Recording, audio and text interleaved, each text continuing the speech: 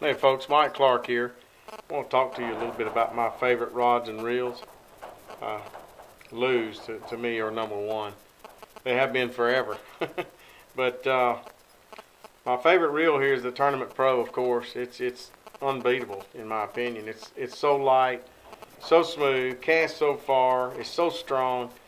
You have to feel the difference, and they mean it when they say that. And this rod I'm using right here, it's it's called a Speed Stick 365. Now it's uh, it's a nano core rod, and uh, it's so light and so sensitive. I man, that, this thing is the best hundred dollar rod I've ever put in my hands.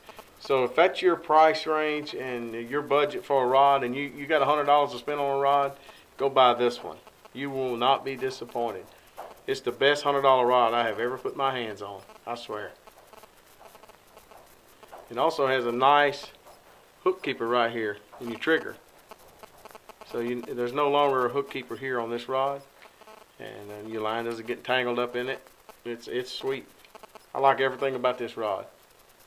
You need to give it a try. Thank you.